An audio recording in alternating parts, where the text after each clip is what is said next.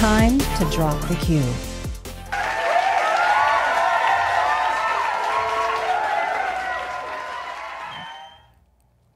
Okay, here we got a question from.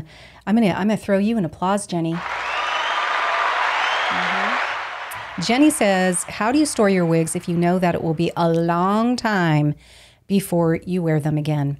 Jenny, I store them all back in their original box. I do, and if if they give, I I do kind of fold them inside out.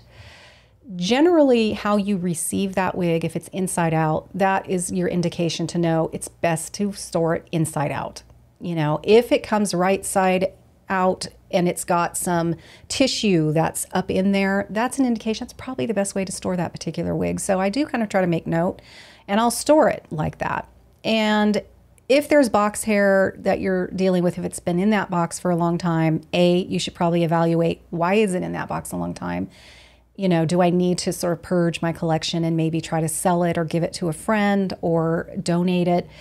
I need to start thinking along those lines myself. I have several, like this one, that I find myself not reaching for. I'm a little crazy going on here. Um, this is Going Places by Raquel Welch. I have two of these. I have Shaded Biscuit, which is this one, and I have uh, one in. Uh, Shaded Cappuccino, I believe. Never wear them, um, and I really need to really evaluate why. Try to make it work first. Maybe I need to use some heat to it because they're heat friendly. Maybe I they'll look better or I'll feel better about them if they're straightened a little bit or I alter it in some way with heat. Got to figure it out because if not, I'm going to have to do one of those things and purge that style from my collection. But I mean, this is fine. I have headphones on and it's it's it's, it's great. Maybe that's what we need to do. Maybe we all need to get some headphones and the, the styles that we just can't contend with, let's put these on. I'm telling you. it works for me for the time we're doing this. Anyway, yeah, I do. And then you can set them out. You know, get a get a rack. Do I have one of them out here? No, I don't. Get a rack and uh, or whatever you use to to put your wigs out on, and have it sit there for a couple days. That's going to help a lot with the box hair that may have happened.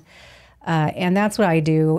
And I don't generally have too big of a problem if it's a wig that I've been wearing and then I, you know, do it inside out and then um, put it away. I generally don't have box hair. If there's box hair, it's because the box hair never went away when I first got it. But I guess it depends on how long it's sitting in that box, how it was put in that box. I do like the idea of putting a little tissue under there. But I notice that happens, or they, they will do the tissue more if it's right side in rather than the other way. Anyway, okay. Sorry. Okay. Didn't mean to do that. I have to do this again.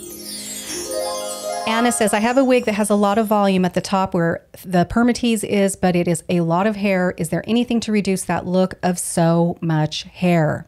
Well, there are just some wigs that just have a lot of hair, and it's hard for me to say what's going on there with that particular wig. Permatease is very tricky if you decide you're going to thin it out. Honestly, I don't have a lot of experience with thinning wigs. Uh, I don't do it very often. I'm very ca- just super careful when I do it. I have ruined a wig and before and I had to throw it away.